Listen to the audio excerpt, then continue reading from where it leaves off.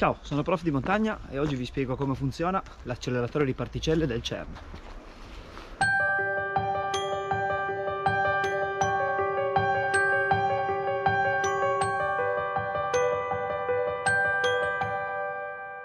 E dato che voglio semplificare il più possibile la spiegazione, perché per capire tutto tutto servirebbero ore, decine di ore di lezione, allora facciamo anche una camminata semplice. Facciamo una salitella di poco più di 200 metri di dislivello per andare sul Moncuni, che si trova sopra ai laghi di Avigliana, grande vista. Il Moncuni è in pratica un accumulo di materiale spinto qua nell'era glaciale dai ghiacciai che scendevano dalle valli, dalle Alpi.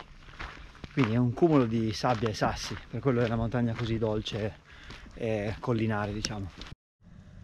Ma veniamo al CERN. Il CERN è un grandissimo laboratorio, è un posto dove si fa ricerca scientifica e ci si occupa di fisica delle particelle. È in pratica eh, costituito da una parte in superficie e una parte molto più importante sotterranea che si trova eh, vicino a Ginevra, in Svizzera. È stato creato lì perché durante la seconda guerra mondiale si è cercato di fermare la fuga dei cervelli verso principalmente gli Stati Uniti creando appunto un polo di aggregazione degli scienziati europei e ovviamente la Svizzera andava bene dal punto di vista eh, geopolitico in quanto neutrale ma poi è stata scelta quella zona anche perché è a bassissima attività sismica. In superficie in pratica c'è una città eh, dove vivono i ricercatori e ci vivono migliaia di ricercatori da tutta Europa. Ci sono anche alcuni laboratori, alcuni piccoli laboratori in cui si svolgono esperimenti, ma il grosso del, del CERN, cioè gli acceleratori di particelle, si trovano nel sottosuolo. Cosa succede allora nei sotterranei del, del, CERN? Ci sono gli acceleratori di particelle. L'obiettivo di questi esperimenti è far scontrare fra di loro dei protoni ad altissima velocità. Perché far scontrare questi protoni uno contro l'altro? Scontrandosi a questa enorme velocità e possedendo quindi tantissima energia, si crea eh, in questo urto si crea qualcosa di effimero e che dura veramente poco che è in pratica la presenza di alcune particelle che normalmente in natura non possono essere osservate sono particelle che decadono quasi subito perché si crea questa massa? Non si crea dal nulla questa massa, perché esiste la famosa equazione eh, di equivalenza tra massa e energia che ci dice che quando eh, qualcosa possiede moltissima energia, questa energia può essere trasformata in massa. Naturalmente la massa è pochissima, però noi stiamo parlando di microparticelle, ci, ba- ci basta poca massa per poter magari creare particelle mai viste prima. Come vengono fatti scontrare questi protoni? Come vengono accelerati prima di tutto? Dunque i protoni sono delle cariche elettriche positive, quindi subiscono gli effetti dei campi elettrici e dei campi magnetici. Gli acceleratori di particelle in pratica funzionano con questi due campi.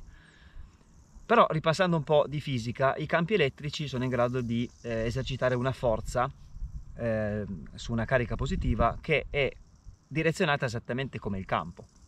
Quindi ponendo il protone dentro un campo elettrico, questo verrà spinto proprio in quella direzione. I campi magnetici invece riescono ad agire sulle particelle in movimento grazie alla forza di Lorentz, che però agisce perpendicolarmente. Quindi in pratica che cosa riesce a fare un campo magnetico? Riesce a far curvare una particella. Ok, chiariti questi due concetti di base, veniamo a proprio all'accelerazione vera e propria. Innanzitutto i protoni da dove vengono presi? Viene preso dell'idrogeno e viene privato l'atomo di idrogeno dal proprio elettrone. Rimane quindi solo il nucleo che è quindi semplicemente un protone. Quindi ci si trova dentro una, diciamo, una camera molto piccola un certo gruppo di protoni. Questo gruppo viene inizialmente accelerato con un campo elettrico ed entra nel primo acceleratore. Ci sono diversi acceleratori, il più grande dei quali è LHC, che è un anello che ha una circonferenza di circa 27 km. Prima di tutto questo è il motivo per cui è sotterraneo eh, e secondo perché è così grande questo anello LHC? Perché quando i protoni raggiungeranno quell'acceleratore di particelle avranno già una velocità tale per cui non si riuscirà a fargli fare una curva molto stretta. È come una pista in pratica, come una pista di Formula 1, ci sono delle curve che è possibile affrontare a certe velocità, curve invece con un raggio più grande che è possibile affrontare più velocemente. Ecco, più i protoni sono veloci e più riusciamo a farli muovere in un raggio più grande però. Infatti si sta già progettando un anello ancora più grande. Beh, questo è l'HC, in pratica è il luogo dove i protoni vengono portati alla loro massima velocità, dopo essere stati eh, accelerati preventivamente da altri acceleratori più piccoli. Però il funzionamento di questi acceleratori è principalmente lo stesso. All'interno di questo anello, in pratica si alternano eh, principalmente due fenomeni. Il campo elettrico continua a spingere i protoni, mentre il campo magnetico li costringe a curvare. Noi potremmo accelerarli senza farli curvare, ma ce li perderemmo subito. Non riusciamo a fargli fare eh, un'accelerazione molto lunga, perché appena li acceleriamo questi se ne vanno e non li abbiamo più. Invece riuscendo a farli girare sempre attorno allo stesso anello, a ogni passaggio vengono accelerati sempre un pochino di più. Gli viene fornita questa energia che aumenta la velocità sempre di meno perché purtroppo la velocità della luce è un asintoto e non potrà essere raggiunto. Ma comunque ogni minimo aumento vuol dire un grande aumento di energia cinetica posseduta dal protone. Quindi, secondo questi due fenomeni, durante i loro giri i protoni, perché sono un gruppo di protoni, un fascio di protoni, vengono continuamente spinti da due forze, una spinta in avanti che continua ad accelerarli e una spinta di lato che gli fa fare la curva. Quindi sono spintoni e schiaffoni di continuo su questi poveri protoni. C'è un terzo effetto che si deve eh, operare su questo fascio di protoni, perché tra loro, essendo tutti positivi, si respingono, per cui questo gruppetto di protoni tenderà ad allargarsi. Allora, visto che noi vogliamo che i protoni poi eh, si scontrino con eh, probabilità alta, noi vogliamo un fascio di protoni abbastanza compatto, abbastanza denso. Quindi ogni tanto durante il giro c'è anche eh, una, un apparecchio magnetico che è in grado di comprimere un po' questo fascio, li costringe, li stringe un pochino in una superficie un pochino più piccola. Quindi abbiamo questo fascio di protoni che sta girando velocissimo. Nel frattempo c'è un altro fascio di protoni che sta girando velocissimo, ma nell'altro senso. Vengono tenuti separati questi due fasci di protoni finché non vogliamo cominciare a farli scontrare. Allora ci sono nell'HC quattro punti in cui si cerca di far scontrare questi fasci di protoni che corrispondono a quattro esperimenti in pratica. Sono quattro enormi laboratori, eh, ognuno dei quali ha una finalità diversa di ricerca quando si vuole far scontrare questi protoni, allora l'HC devia i due fasci in modo che si intersechino e con grande probabilità qualche protone si scontrerà, anzi si scontreranno moltissimi protoni ogni secondo.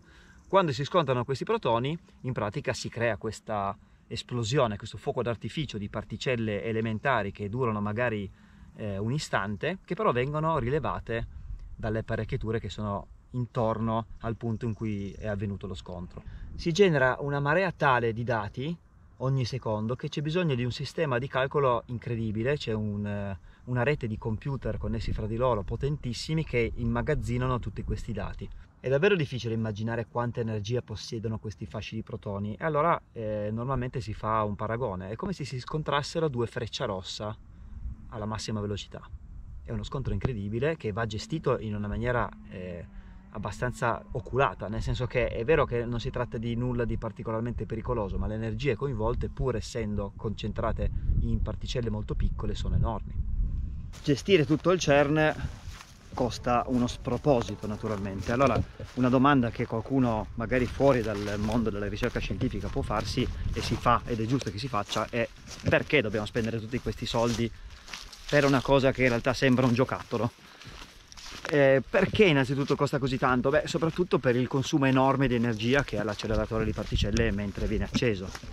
Pensate solo che eh, ci vogliono dei sistemi di raffreddamento per creare una corrente altissima a causa della superconduttività dei materiali che portano la temperatura a poco più di un grado sopra lo zero assoluto, il che già ciuccia un sacco di energia. In più eh, tutti i sistemi che creano campo magnetico, campo elettrico sono veramente energivori a manetta. In realtà, come spesso succede, la curiosità umana porta poi, pur magari non partendo da un fine nobile, porta comunque a dei risultati più che nobili. Eh, in particolare il CERN può avere quattro punti di vista positivi. Innanzitutto sicuramente la ricerca.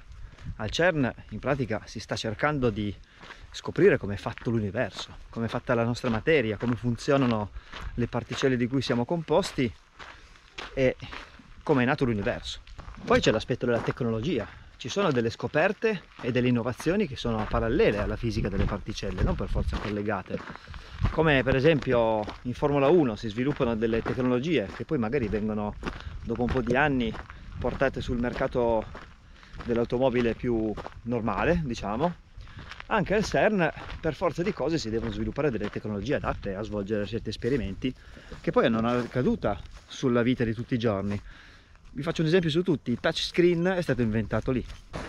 Ma c'è anche un aspetto molto bello che è la collaborazione, collaborazione fra paesi, collaborazione fra ricercatori, collaborazioni fra diversi enti e diverse eh, realtà scientifiche dell'Europa e in realtà di tutto il mondo. Questo è un, è un posto che assomiglia eh, come poesia diciamo, alla Stazione Spaziale Internazionale dove i confini cominciano a venire un po' meno, le bagarre politiche cominciano a diventare meno importanti per un fine comune. E poi l'ultimo aspetto che non è comunque il meno importante è quello dell'educazione. Al CERN eh, si, si, sviluppano i ricercatori, studiano eh, intere classi future di scienziati